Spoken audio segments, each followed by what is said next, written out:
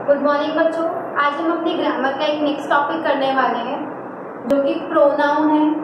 Pronoun जैसे कि हम जानते हैं प्रोनाउन वो वर्ड्स होते हैं जो हम नाउन्स की जगह पर यूज़ करते हैं, जहाँ पे हम नाउन को रिप्लेस कर देते हैं, किसी प्रोनाउन वर्ड से। तो अभी हम ये सेंटेंस के थ्रू देखते हैं। जैसे Nancy is a girl Nancy is my sister तो यहाँ पे हमने नैन्सी और नैन्सी वर्ड दो बार यूज़ किया है। तो अगर एक ही के इंसान के बारे में हम बार बार बार बार सेम उसका नाम लेके बोलते रहेंगे तो वो चीज़ें सुनने में अच्छी नहीं लगती। तो हम इसके नाम को यहाँ पे रिप्लेस कर देंगे क्योंकि नैन्सी एक गर्ल है तो हम नैन्सी के नाम को शी प्रोनाउन से रिप्लेस कर सकते हैं। सो so, फिर हमारी फ़र्स्ट लाइन क्या बनी? Nancy is a girl she is my sister she is eleven years old ऐसे हम जो बाकी के सेंटेंसेस बनाएँगे, उसमें नैन्सी के नैन्सी की जगह पे हम प्रोनाउन यूज़ करेंगे। ठीक है? ऐसे ही नेक्स्ट देखते हैं। Rahul is not well so Rahul यहाँ पे बॉय है। Rahul did not go out अब यहाँ पे हमने दो दो बार राहुल यूज़ किया है। ठीक है? तो हम यहाँ पे क्या करेंगे? राहुल को रिप्लेस कर देंगे। किससे? जिससे हम बॉय के प्रोनाउन की जगह पे जिस वर्ड को यूज़ करते हैं। और वो हमारा ही वर्ड होता है। So Rahul is not well he did not go out तो हमने राहुल को यहाँ पे किससे रिप्लेस कर दिया? ही से रिप्लेस कर दिया। ऐसे ही नेक्स्ट देखते हैं। Anu and Amit have a test today so यहाँ पे हमने अनु और अमित दो लोगों को यूज़ किया है।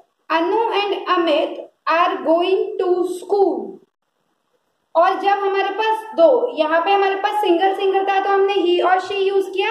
जब हमारे पास एक से ज़्यादा वर्ड्स आते हैं प्रोनाउन में तो उसके लिए हम दे वर्ड यूज़ करते हैं।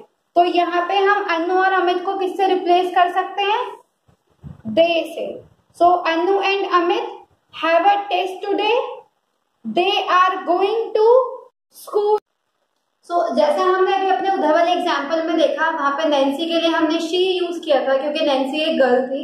तो हमें पता है जो हमारे फेमिनिन वाले होते हैं उनके लिए हम शी यूज़ करते हैं। और जो हमारे मैस्कुलिन वाले होते हैं उनके लिए हम ही यूज़ करते हैं। जैसे कि आपने नाउन्स वाले चैप्टर में भी पढ़ा था मैस्कुलिन और फेमिनिन को डिटेल्स में। तो जो मैस्कुलिन में आपके ग्रैंडफादर फादर फादर और प्रिंस किंग बहुत सारे जो आते हैं आपके नाउन्स उन सब के लिए हम ही यूज़ करेंगे। ऐसे ही फेमिनिन में हमारी mother grandmother princess queen ऐसे जो सारे हमारे नाउन्स आते हैं, उनके लिए हम शी प्रोनाउन यूज़ करते हैं। ऐसे ही हमारा एक प्रोनाउन होता है इट इट जो होता है, वो हम एनिमल्स और थिंग्स के लिए यूज़ करते हैं बेसिकली जैसे dog tree book ball flower तो जो भी हमारे एनिमल्स होते हैं थिंग्स होते हैं, उनके लिए हम हमेशा इट यूज़ करते हैं। ये जो ही शी इट है हमारे सिंगुलर प्रोनाउंस है हम सिंगुलर नाउन्स के लिए यूज़ करते हैं इनको। और एक हमारा है दे जैसे हमने अभी अनु और अमित का एग्ज़ाम्पल किया था उसमें हमने दे यूज़ किया था तो ये हम प्लूरल चीज़ों के साथ यूज़ करते हैं जहाँ पे ज़्यादा हमारे नाउन होते हैं तब। ठीक है? सो so, अब हम पर्सनल प्रोनाउन को डिटेल में जानेंगे कि पर्सनल प्रोनाउन क्या होता है। पर्सनल प्रोनाउन में थ्री टाइप्स के हमारे यहाँ पे पर्सन है। First person second person third person इसमें हम इसको थ्री कैटेगरीज में डिवाइड कर देते हैं। अब फ़र्स्ट पर्सन क्या होता है? आई मतलब मैं। जब मैं अपने बारे में बात कर रहा हूँ। सो so, इसमें हम सिंगुलर और प्लूरल दो तरीके से इसको देखेंगे। जैसे यहाँ पे आई मतलब मैं और प्लूरल में वी वी मतलब हम। तो हम सिंगुलर और प्लूरल साथ में लेके चलते हैं, क्योंकि जब मैं अपने अकेले के बारे में बात करूँगी तो मैं आए करके बोलूँगी। लेकिन जब मेरे साथ और लोग जुड़ जाएँगे, हम बहुत सारे हो जाएँगे तो हम वी हो जाएँगे, हम। तो वहाँ पे वी वर्ड यूज़ होगा। ऐसे ही माई माई का प्लूरल यहाँ पे आर आ जाएगा। Me us mine ours myself ourself so so, ये सारे हमारे फ़र्स्ट पर्सन वाले प्रोनाउंस है। ऐसे ही सेकेंड पर्सन सेकेंड पर्सन में हम क्या वर्ड यूज़ करते हैं? यू यू मतलब तुम। जब दो इंसान आपस में बात कर रहे होते हैं तो वो एक दूसरे से यू करके बात करेंगे। क्योंकि इस बच्चे के लिए ये सेकेंड पर्सन है और इस बच्चे के लिए ये सेकंड पर्सन है। तो जब आप ये एक दोनों एक दूसरे से बात करेंगे तो यू वर्ड यूज़ करेंगे। सो so, इसके प्रोनाउंस चेक करते हैं।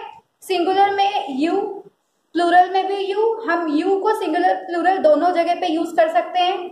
Your your yours yours yourself yourself बस यहाँ पे जो हमारा एफ़ है, जैसे हमने सिंगुलर प्लूरल में सीखा था एफ़ को रिप्लेस करके हम यहाँ पे वीई एस एड करते हैं। तो यहाँ पे उसका प्लूरल फॉर्म चेंज हो गया है। सो सेकेंड पर्सन में हम तुम मतलब तुम्हारे बारे में बात करें दूसरे सेकेंड पर्सन के बारे में बात करते हैं। ऐसे ही हमारा अब एक होता है थर्ड पर्सन जिसमें दो लोग बात कर रहे होते हैं, वो भी किसी तीसरे के बारे में। जब ये दोनों आपस में बात कर रहे हैं और ये बात करें कि वो इंसान कैसा है, तब वहाँ पे हम थर्ड पर्सन वाले प्रोनाउंस वर्ड यूज़ करते हैं। जैसे कि सिंगुलर में, अगर कोई थर्ड पर्सन सिंगुलर है और वो भी बॉय और गर्ल तो ही और शी यूज़ होगा। लेकिन अगर कोई थर्ड पर्सन प्लूरल है, ज़्यादा लोग है तो उसके लिए हम दे यूज़ करेंगे। ऐसे ही हिम हर प्लूरल हो जाएगा देम सिंगुलर में हिज हर प्लूरल हो जाएगा देयर सिंगुलर में हिज हर्स प्लूरल हो जाएगा देयर्स सिंगुलर में हिमसेल्फ हर सेल्फ प्लूरल में देम सेल्फ तो इसी तरीके से हमारे ये थ्री टाइप्स के जो पर्सनल प्रोनाउन है first person second person third person इनका बहुत ध्यान से यूज़ करना पड़ता है कि हम कौन से प्रोनाउन को कहाँ पे यूज़ करेंगे। सो so, अब हम ये पर्सनल प्रोनाउंस की हमारी और कैटेगरीज है जिनको हम और डिटेल में पढ़ेंगे। जैसे subject pronoun object pronoun ownership और possession pronoun reflexive pronoun so सबसे पहले सब्जेक्ट प्रोनाउन पे आते हैं। सब्जेक्ट प्रोनाउन के जो हमारे प्रोनाउंस होते हैं आई वी ही शी दे हम इन सब प्रोनाउंस को सब्जेक्ट क्यों बोला गया है? क्योंकि ये जब हम सेंटेंस फ्रेम करते हैं, उसके बिल्कुल स्टार्टिंग में आते हैं, शुरुआत में आते हैं और इन्हीं से हमारा सेंटेंस स्टार्ट होता है। इसलिए ये हमारे सब्जेक्ट प्रोनाउंस है। ऐसे ही हमारे ऑब्जेक्ट प्रोनाउंस होते हैं, जैसे मी अस हिम हर देम ये सारे हमारे प्रोनाउन ऑब्जेक्ट प्रोनाउंस इसलिए क्योंकि ये हमारे सेंटेंस के लास्ट में आते हैं, जो ऑब्जेक्ट की जगह पर आते हैं। जैसे मी सिंगुलर प्रोनाउन है अस प्लूरल प्रोनाउन है हिम और हर ये दोनों प्रोनाउंस हमें पता है लेकिन हिम जो है वो हम बॉय के लिए यूज़ करते हैं और हर जो है हम वो गर्ल्स के लिए यूज़ करते हैं। ऐसे ही देम देम हमारा एक प्लूरल प्रोनाउन है। नेक्स्ट ओनरशिप और possession pronoun mine ours yours his hers theirs अब इसको ओनरशिप और पोजीशन प्रोनाउन क्यों बोले जब हमारा या किसी और का उस चीज़ पे अधिकार होता है पोजेशन होता है तब तब हम इन प्रोनाउंस का यूज़ करते हैं। जैसे कि, ये मेरी बुक है, ठीक है? अब ये मेरी बुक है तो मैं इसके लिए अगर मैं सेंटेंस में बोलूँगी तो कैसे बोलूँगी? दिस बुक इज़ माइन तो मैंने यहाँ पे माइन वर्ड यूज़ किया ये दिखाने के लिए कि इस बुक पे मेरा अधिकार है, मेरा पोजीशन है। तो वहाँ पे मैं पोजिशन प्रोनाउन यूज़ करूँगी, जहाँ पे मैं अपना अधिकार दिखाऊँगी किसी भी चीज़ पे। तो अगर कोई और इंसान अपने बारे में बताता है, जैसे दैट हाउस इज़ देयर्स वो घर उनका है। तो वहाँ पे हमारा देयर्स वर्ड यूज़ हुआ। है ना? तो ऐसे जब आप किसी पे अधिकार दिखाते हैं चीज़ों पे तो हम वहाँ पे पोजिशन प्रोनाउन यूज़ करते हैं। ऐसे ही हमारे रिफ्लेक्सिव प्रोनाउन होते हैं, जो himself herself itself yourself themself ourself myself अब यहाँ पे रिफ्लेक्सिव प्रोनाउन इन्हें क्यों कहा गया है? क्योंकि जब तक, जब आपको ये रिफ्लेक्ट करते हैं, जहाँ पे सब्जेक्ट भी यही होते हैं और ऑब्जेक्ट भी यही होते हैं। For example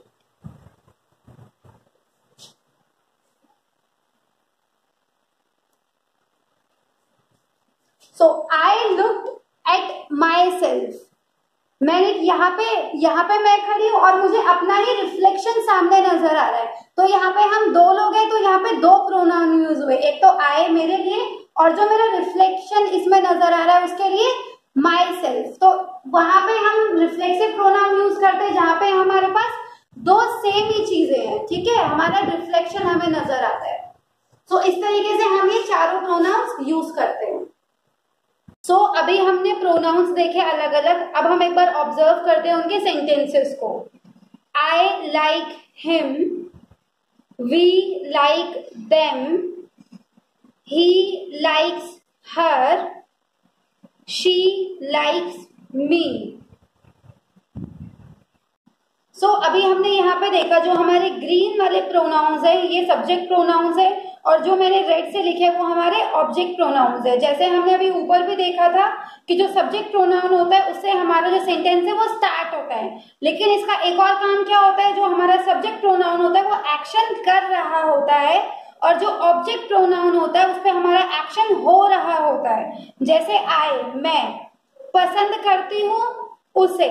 तो यहाँ पे मेरी बात हो रही है तो मैं एक्शन कर रही हूँ। और जिस हिम वो है जिसपे एक्शन हो रहा होता है। तो हमें यही याद रखना है कि सब्जेक्ट प्रोनाउंस वो होते हैं जो एक्शन करते हैं और ऑब्जेक्ट्स वो होते हैं जिन पे एक्शन हो रहा होता है। सो so, अब एक एग्ज़ाम्पल देखते हैं हम। जैसे हमारे पास सेंटेंस है Poonam likes Rahul so so, यहाँ पे हमने नाउन यूज़ किए हैं। अब हम अगर इनको प्रोनाउन से रिप्लेस करेंगे तो हमारे क्या सेंटेंस बनेंगे? पूनम मतलब मैं अपने बारे में बात कर रही हूँ और ये सब्जेक्ट पे है। तो सब्जेक्ट प्रोनाउंस में से अगर मैं अपने लिए लूँगी तो क्या लूँगी यहाँ पे?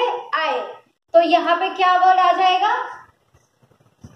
पूनम को जब मैंने रिप्लेस किया तो आए वर्ब हमारी सेम रहेगी राहुल। अब राहुल हमारा ऑब्जेक्ट की प्लेस पे है तो ऑब्जेक्ट वाले प्रोनाउंस में हम बॉय के लिए क्या यूज़ करते हैं? हिम तो यहाँ पे राहुल की जगह क्या आ जाएगा हिम आ जाएगा तो हमारा सेंटेंस क्या बना? आई लाइक हिम ऐसे ही नेक्स्ट एग्ज़ाम्पल देखते हैं। अजय लाइक्स सिमरन। सो अजय हमारा यहाँ पे सब्जेक्ट की प्लेस पे है। तो फिर से हम सब्जेक्ट वाले में जाएँगे। और क्योंकि अजय एक बॉय है तो हम वहाँ पे देखेंगे हम बॉय के लिए क्या यूज़ कर सकते हैं। ही तो हम यहाँ पे क्या लिखेंगे? ही सब्जेक्ट के लिए हमने यहाँ पे ही यूज़ कर दिया। वर्ब हमारी सेम रहेगी। सिमरन। सिमरन अभी हमारी ऑब्जेक्ट के प्लेस पे है। तो हम यहाँ पे देखेंगे कि ऑब्जेक्ट प्रोनाउन में से हम क्या यूज़ कर सकते हैं। वैसे हम गर्ल्स के लिए शी यूज़ करते हैं, लेकिन हमें ये ध्यान रखना है कि वो ऑब्जेक्ट के प्लेस पे है तो हम ऑब्जेक्ट प्रोनाउंस वाले वर्ड यूज़ करें। तो यहाँ पे जैसे हमने पहले बताया था गर्ल के लिए हम हर यूज़ करेंगे। तो यहाँ पे क्या आ गया हमारा? हर आ गया। तो सेंटेंस क्या बना? ही लाइक्स हर ठीक है? तो अब यहाँ पे हमने ही यूज़ किया बॉय के लिए, लेकिन यहाँ पे गर्ल के लिए हर यूज़ किया। क्यों? क्योंकि वो सब्जेक्ट की प्लेस पे और वो ऑब्जेक्ट की प्लेस पे है। ठीक है? सो जैसे कि हमने जब यहाँ पे सेंटेंस फ्रेम किया, हमारा फ़र्स्ट क्या बन रहा था? आई लाइक हिम और यहाँ पे ही लाइक्स हर तो जब हम यहाँ पे सेंटेंस फ्रेम कर तो हमें सब्जेक्ट वो एग्रीमेंट पे भी ध्यान रखना है कि हमारी जो वर्ब्स है वो हम सही तरीके से यूज़ कर रहे हैं या नहीं। ठीक है? सो so, आज हमारा प्रोनाउंस का ये टॉपिक यहीं पे फिनिश होता है। Thank you